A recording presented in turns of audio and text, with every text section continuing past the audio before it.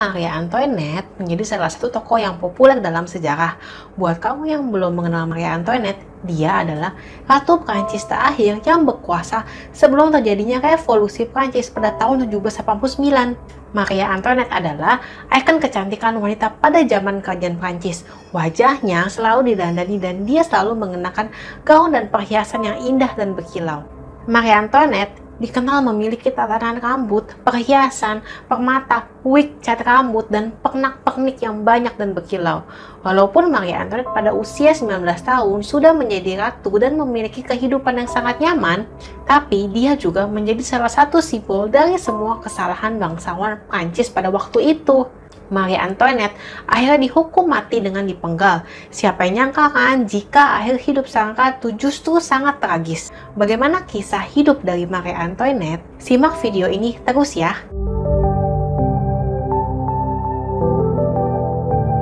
Meskipun Marie Antoinette adalah ratu terakhir kekaisaran Prancis, Antoinette ternyata bukanlah penduduk asli negara itu. Nggak nyangka kan jika sang ratu ternyata tidak memiliki darah Prancis sama sekali.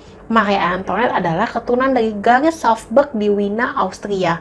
Marie Antoinette dilahirkan di dalam keluarga kerajaan istana Hofburg, Austria pada tanggal 2 November 1755. Maria Antoinette merupakan anak ke-15 dan putri bungsu Maria Theresia penguasa kekaisaran Habsburg dan suaminya Franz I dari Kaisar Romawi Suci. Seperti banyak orang yang lahir dalam keluarga kerajaan, awalnya dia memiliki nama yang panjang yaitu Maria Antonia Josefa Joanna.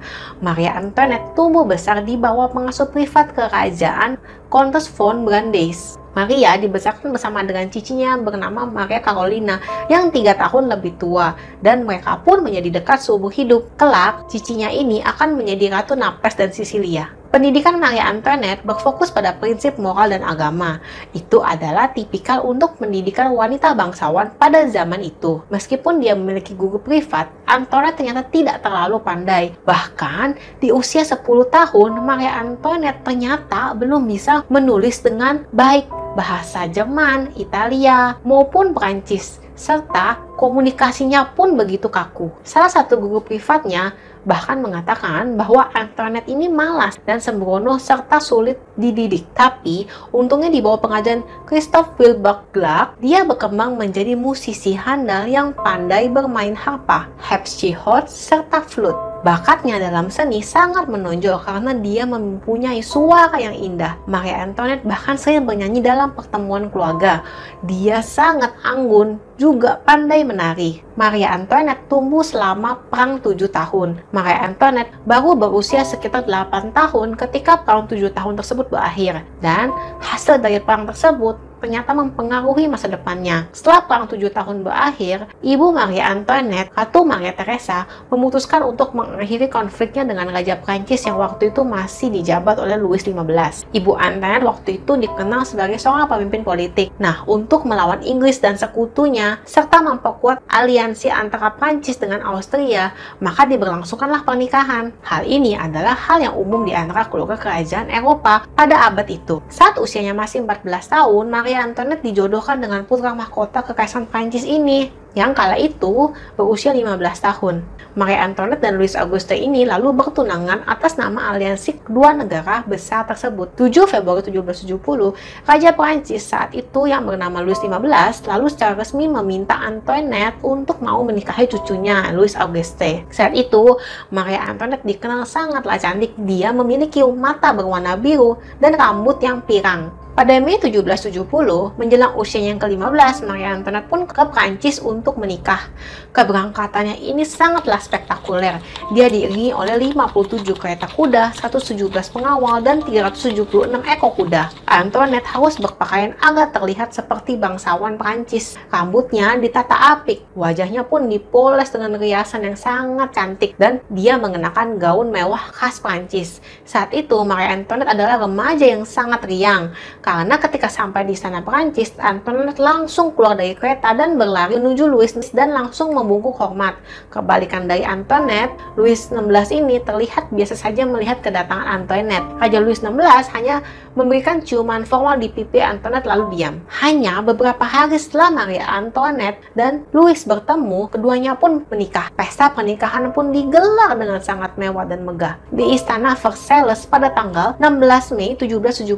Tercatat ada sekitar 5.000 tamu yang hadir dalam pernikahan itu. Maria Antoinette waktu itu memakai gaun putih dan perak yang sangat besar yang dihiasi banyak berlian putih. Sayangnya, saya seukuran gaun itu salah. Gaunnya terlalu ketat. Penjahit ternyata salah menghitung ukuran sehingga tali pengikat belakang tidak pas. Sekeras apa pun dayang-dayang mengikat korset Maria Antoinette, mereka tidak bisa menutup gaunnya sehingga ada celah aneh di antara deretan berlian gaunnya. Dan waktu itu tidak ada waktu lagi untuk membuat gaun pengganti yang baru. Untungnya Maria Antoinette tidak panik dan tetap tampil elegan di misa Upacara itu sendiri adalah misa yang panjang dan pengantin pria katakan saat itu memiliki ekspresi yang datar. Setelah resepsi pernikahan usai, menurut adat kan ada rombongan besar yang membantu pasangan kerajaan itu membuka pakaian lalu tidur bersama. Para anggota keluarga istana pun menarik tirai tempat tidur mereka dan meninggalkan Maria Antoinette dan Louis untuk melanjutkan tugas kawinan mereka sebagaimana adanya. Mungkin karena semua pengawasan itu membuat sang pangeran gelisah dan tugas pernikahan ini pun tidak terselesaikan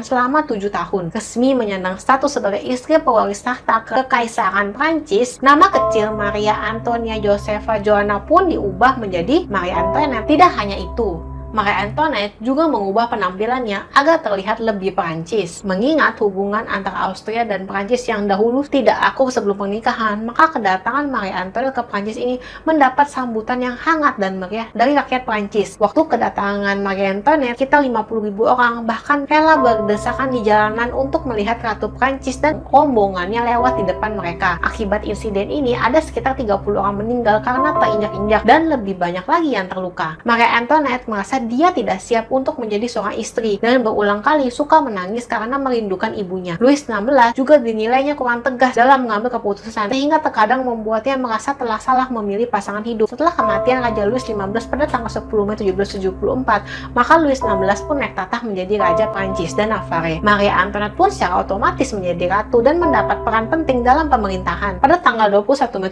1774, dua minggu setelah kematian Louis XV, Maria Antoinette pun mendapat satu rumah kerajaan dan PT Trianon yang mewah di tanah Versailles. Louis XVI waktu itu mengizinkan Maria Antoinette untuk merenovasinya sesuai dengan selera Maria Antoinette sendiri dan dengan cepat pun beredar desas-desus bahwa Maria Antoinette melapisi dindingnya dengan emas dan berlian. Maria Antoinette membangun rumah peristirahatnya di Versailles berikut sungai buatan dan serangkaian rumah-rumah kecil seperti negeri dongeng. Banyak hiasan, hiasan sutra, serta dekorasi dinding hiasan mewah lainnya.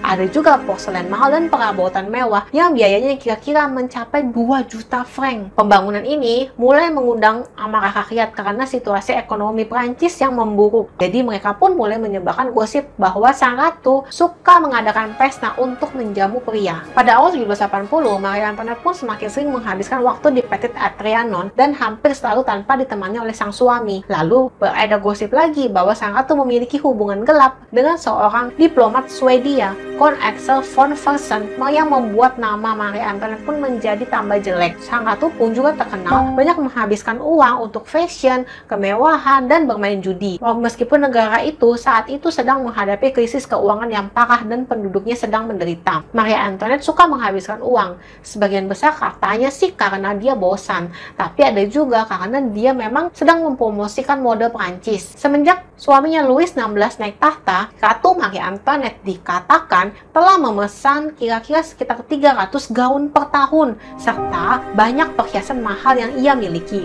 Dia juga menambah istana Versailles-nya itu dengan model pertanian yang dibangun di halaman istananya. Dan di situ dia dan dayang-dayangnya suka berdandan dan berpura-pura bermain sebagai pengembala dan pemerah susu. Banyak orang Prancis lalu mulai menyalahkan Maria Antoinette atas situasi ekonomi yang memburuk dan ketidakmampuan negara untuk melunasi utang. Padahal sebenarnya bukan salah dia juga karena sebagian besar para bangsawan itu pun sebenarnya tidak mau membayar pajak. Ditambah lagi, selama tujuh tahun pernikahan, Maria Antoinette dan Raja Louis XVI pun pun masih belum memiliki keturunan. Katanya Louis XVI ini tidak betah duduk di singgah sana. Ada desas-desus berkata bahwa Raja Louis XVI ini memandang pernikahan tidak lebih dari sekedar tugas politik. Nah, para bangsawan ini lalu mulai mempergosipkan nih kehidupan ranjang mereka. Hingga tujuh tahun pertama pernikahan yang Maria Antoinette dikatakan tidak pernah berhubungan badan dengan suaminya. Maria Antoinette juga dikatakan frustasi karena kurangnya minat Louis XVI terhadap dirinya. Dan dia juga merasa malu karena belum juga menghasilkan keturunan. Sampai hari ini,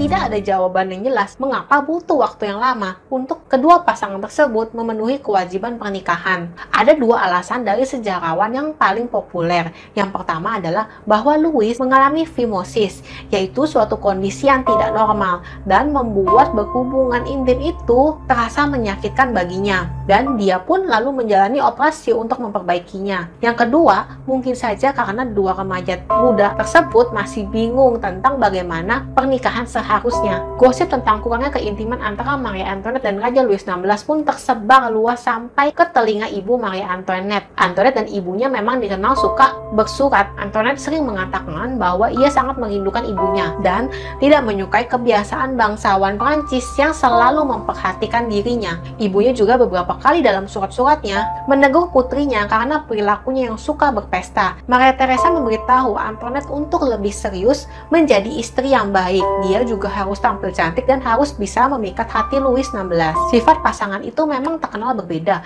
Raja Louis XVI sangat tertutup, pemalu, dan ragu-ragu dalam mengambil keputusan. Dia lebih menyukai kegiatan yang bersifat personal seperti membaca, menempa besi, dan berburu. Sementara sang istri Maria Antoinette sangat menikmati hidupnya dia sangat terlihat santai, penuh dengan kegembiraan. Maria Antoinette juga suka berjudi, berpesta, serta mengoleksi pakaian dan perhiasan yang mahal. Jadwal dan gaya hidup mereka pun jauh berbeda. Saat malam tiba dan raja masuk ke kamar untuk istirahat, Maria Antoinette malah baru pergi berpesta hingga pagi dan mulai istirahat saat sudah mulai siang. Mereka terlihat menjalani dua kehidupan yang sangat berbeda. Pada 1777, Ratu Maria Theresa gelisah karena pernikahan putrinya dan Louis XVI pun belum berbuah kehamilan. Akhirnya dia mengirimkan sang putra yaitu Joseph II kakak Maria Antoinette untuk pergi ke Prancis menjadi penasihat perkawinan mereka. Dia pun lalu berbicara dengan Louis. Tidak jelas apa yang dikatakan kakak laki-laki Maria Antoinette ini kepada Louis. Tapi setelah obrolan mereka ini, pasangan itu akhirnya bisa menunaikan kewajiban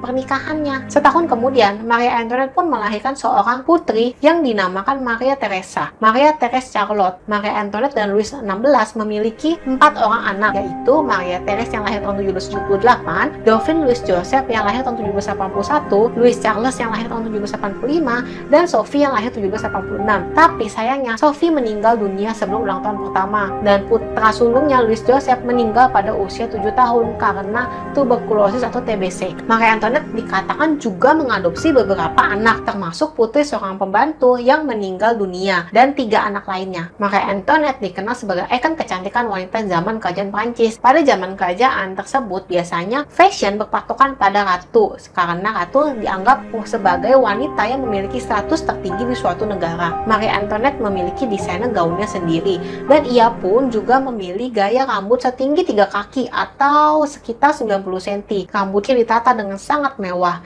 Rambutnya sendiri itu adalah tanda kemewahannya. Rambutnya ditata dengan wig dan ornamen bertumpuk di atas kepalanya. Gaya rambutnya ini betul-betul nomor satu dan saking besarnya dan bagusnya, ia juga bisa menyembunyikan vas kecil di rambutnya itu untuk menjaga hiasan bunganya tetap segar di rambutnya. Leonard Auti adalah penata rambutnya. Leonard membuat berbagai macam gaya rambut dengan tema yang berbeda-beda. Dalam bahasa Prancis, bentuk rambut ini dinamai pouf. Untuk membuat model rambut itu, diperlukan hampir 13 meter kain kasa untuk melilit kerangka modelnya, serta beberapa patung, hiasan buah. Gaya ini dipopulerkan oleh Marie Antoinette dan mode baru ini menyebar di kalangan wanita bangsawan. Saking suksesnya mode rambut ini, bahkan sampai diekspor ke Inggris loh. Marie Antoinette juga mengadopsi mode gaun Inggris yang terbuat dari pekale, muslin, dan Indian. Padahal Indian itu adalah salah satu bahan yang dilarang di Prancis dari tahun 1686 hingga 1759 untuk melindungi industri wol dan sutra Prancis lokal. Perhiasan Maria Antoinette juga nggak kalah mewahnya. Sepasang gelang berlian milik Maria Antoinette baru-baru baru ini dijual dalam acara lelang tahun lalu pada Selasa 9 November 2021 yang laku dengan harga 7,46 juta franc Swiss atau sekitar 116,7 miliar seharga rumah-rumah mewah di Paris. Bersiap-siap di pagi hari pun merupakan hal yang sulit dilakukan oleh Marie Antoinette. Marie Antoinette memerlukan banyak pelayan untuk membantunya bersiap-siap dan berpakaian. Sang ratu akan duduk dan dirias sementara seorang pelayan wanita lainnya akan memberikan sebuah buku kepada Marie Antoinette sebagai sampel dari berbagai macam kain agar sang ratu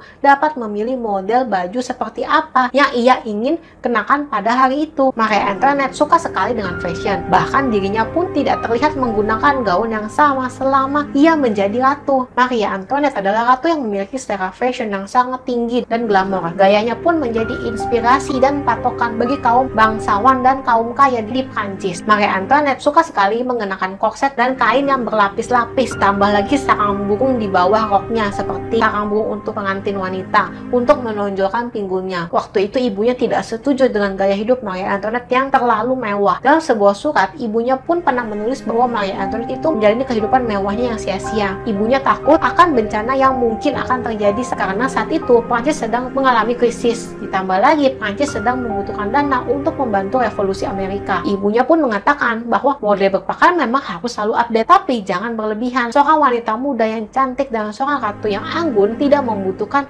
keekstriman seperti itu. Sebaliknya, kesederhanaan berbusana lebih pantas dan lebih layak bagi seorang ratu di saat negerinya sedang krisis. Nama sang ratu pun semakin buruk setelah gagal panen melanda hampir di seluruh negeri. Ya, saat itu Prancis sedang mengalami panen yang tidak bagus sehingga mengakibatkan harga gandum meninggi. Rakyat Prancis makin tersiksa karena harus membayar pajak yang tinggi dan harga-harga kebutuhan pokok yang naik. Bahkan dikatakan mereka sampai tidak bisa membeli satu roti pun untuk dimakan. Dalam catatan sejarah, kaum aristokrat sering mengadakan pesta hampir setiap malam. Pesta-pesta tersebut pun diadakan hanya untuk hiburan kaum bangsawan semata. Bahkan, pakaian, gaya hidup aristokrat pun tetap mewah seperti biasanya. Rakyat pun mulai melakukan demonstrasi di seluruh kota. Selebarannya mengkritik ketidakpedulian sang ratu, gaya hidupnya yang mewah, dan perselingkuhan yang menyebar di jalanan kota Paris di seluruh penjuru negeri. Kebiasaannya hidup mewah dan terus berpesta membuat rakyat menjuluki Maria Antoinette sebagai nyonya defisit. Selama kerusuhan, ada kutipan Maria Antoinette yang terkenal yang mengatakan let them eat cake. Konon, sang ratu mengatakan kalimat itu untuk menyindir para petani yang tidak memiliki roti untuk dimakan. Padahal Maria Antoinette sebenarnya ternyata tidak pernah mengatakan kutipan itu. Faktanya, kalimat kutipan itu diucapkan oleh Maria Therese, seorang putri Spanyol yang menikahi Raja Louis XIV pada tahun 1660 atau puluhan tahun sebelum Maria Antoinette datang ke Prancis. Antoinette mungkin memang tidak pernah mengucapkan kata tersebut, tapi Maria Antoinette memang tidak bersimpati pada nasib para petani. Puncaknya adalah tahun 1785, ketika reputasi Maria Antoinette makin jelek setelah muncul skandal pencurian kalung berlian. Seorang pencuri dikatakan dibayar oleh Maria Antoinette dan membawa kalung yang dihiasi 647 butir berlian. Kalung itu lalu diselundupkan dan dijual. Meskipun Antoinette sebenarnya tidak bersalah, tapi karena rakyat sudah terlanjur membencinya, maka rakyat menganggap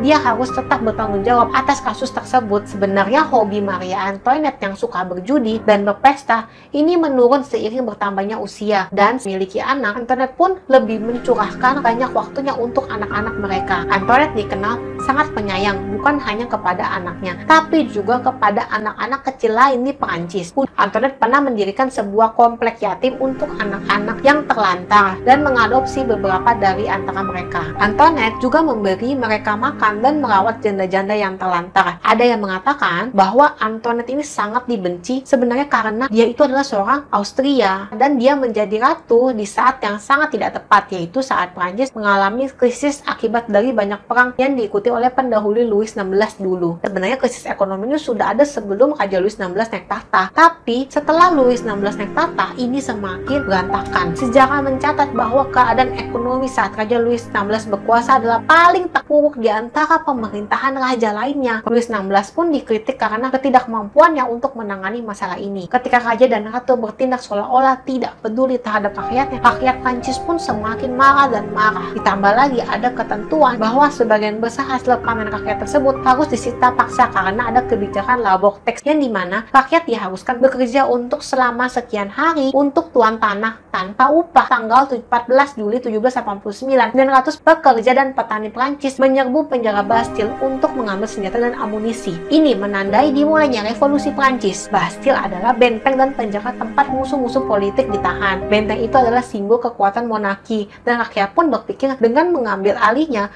maka akan menunjukkan betapa lemahnya sistem monarki tersebut. Situasi di Prancis pun makin tidak terkendali. Kekerasan dan penjarahan pun terjadi di seantero negeri. Kemudian diperkirakan berjumlah 10.000 orang berkumpul di luar istana Versailles menuntut agar raja dan ratu mereka dibawa ke Paris. Ketika ribuan rakyat bersenjata sudah di luar kediaman istana, Louis XVI bingung keputusan apa yang harus diambilnya dalam kondisi seperti itu. Antoinette lalu bertemu dengan para penasihat duta besar dan mengirimkan surat kepada para penguasa Eropa lainnya untuk membantu menyelamatkan monarki Prancis. Di sisi lain, Maria Antoinette dan selingkuhannya, Count Axel von Fersen, berusaha membuat rencana untuk mengeluarkan keluarga kerajaan dari Prancis. Rencananya waktu itu adalah melarikan diri ke Belanda, di mana mereka akan bisa merencanakan kontra-revolusi. Seorang jenderal Prancis memberikan ide kepada para bangsawan bahwa perjalanan mereka akan jauh lebih aman jika menjadi dua kereta kecil sederhana. Tapi Antoinette memaksa menggunakan kereta yang lebih besar yang dilengkapi dengan makanan dan peti anggur. Axel Fersen pun waktu itu ingin ikut mengawali perjalanan mereka, tapi Raja Louis malah menyuruh Axel Fersen memisahkan diri dan bertemu di tempat tujuan. Ketika dalam perjalanan, seorang petani mengenali raja dan mengumpulkan massa untuk menyerang kereta tersebut. Rakyat pun berhasil menangkap raja dan ratu mereka dan memaksa mereka kembali ke Paris dengan arak-arakan yang dipimpin oleh kepala pengawal mereka yang sudah mati dan digantung di atas tombak. Pada September 1791, Raja Louis XVI menyetujui konstitusi baru yang dirancang oleh Majelis Nasional Konstitusi. Sebagai imbalannya, Majelis Prancis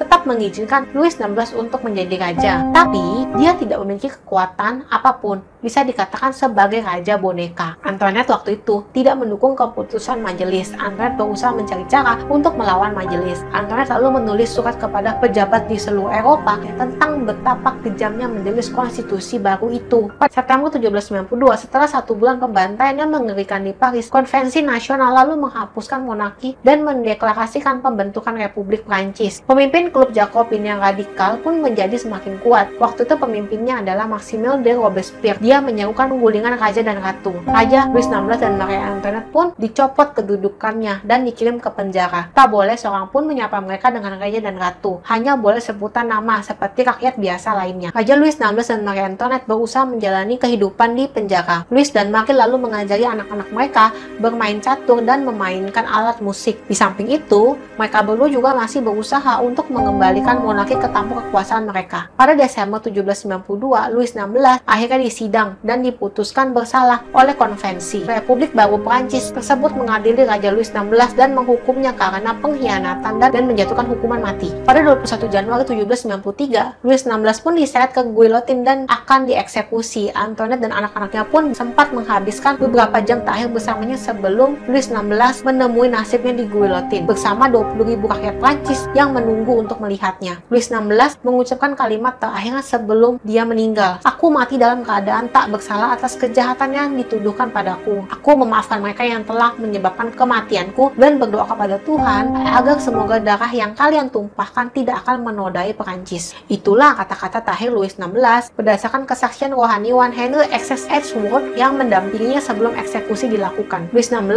lalu diantar ke guillotine yang berada di dekatnya dan pada pukul 10 lewat 22 dengan satu hentakan pisau besar kepalanya pun terpisah dari raganya. Bunyi senjata pun ditembakkan ke udara setelah pemenggalan Louis XVI. Suaranya menggelegar sampai ke telinga keluarga kerajaan yang sedang berada dalam penjara. Hati Maria Antoinette dan anak-anaknya pun diliputi duka. Setelah Raja Louis XVI dieksekusi, Maria Antoinette dan 280 tahanan lainnya dipindahkan ke penjara kuil di Conciergerie. Maria Antoinette dipisahkan dari anak perempuannya Marie Therese dan saudara iparnya Madame Elizabeth. Dua setengah bulan sebelum persidangan dan eksekusinya, Maria Antoinette menghabiskan waktu di penjara uang bawah tanah Salah satu perwira militer dan temannya yang bernama Alexander Gons de Rogenville mengunjunginya secara diam-diam dan suatu hari dia menyelipkan sejumlah surat kecil berisi uang untuk membantu Maria Antoinette melarikan diri. Tapi sayangnya Maria Antoinette menjatuhkan uang dan surat itu yang kemudian ditemukan oleh penjaga. Maria Antoinette pun lalu berupaya menyuruh penjaga tersebut tapi usahanya terbongkar. Maria Antoinette lalu diadili untuk menghindarinya melarikan diri kembali. Maria Antoinette lalu diseret ke pengadilan revolusioner dengan tuduhan pengkhianatan, pencurian, serta pelecehan seksual terhadap putranya sendiri. Persidangan dibuka oleh jaksa Foger Tinfield yang mengatakan bahwa putra Maria Antoinette yang berusia 8 tahun yang bernama Louis Charles telah mengaku sudah berhubungan badan dengan ibu dan bibinya. Tuduhan incest tersebut sebenarnya hanyalah hoax yang dibuat oleh Jacques Van Herbert. Herbert adalah jurnalis koran radikal pada masa revolusi Prancis yang suka mengkritik Ratu Antoinette